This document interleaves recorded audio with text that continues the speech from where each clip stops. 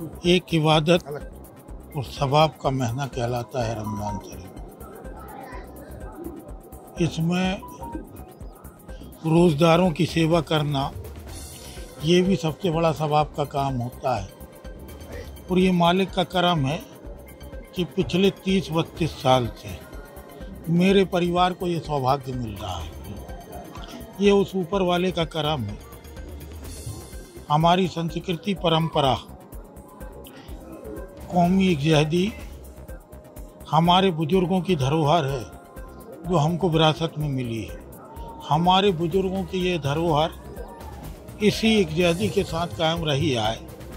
ऐसा प्रयास सबका होता है। इबादत में सबकी सलामती की दुआ के साथ साथ देश की एकता, अखंडता और सार्वभौमिकता के लिए भी दुआएँ होती हैं। मैं तमाम रोज़दारों को आज के इस दिन के, लिए नमन भी करता हूँ और उनको बहुत बहुत शुक्रिया अदा करता हूँ कि उनने एक सेवा का अवसर मेरे परिवार को दिया। पवित्र रमज़ान का पवित्र महीना है और लखन घनघोरिया भैया मतलब हमारे विधायक जी नेता उनके परिवार के द्वारा विगत तीस बत्तीस साल से ये आयोजन किया जा रहा है रोज़ा अवतार का।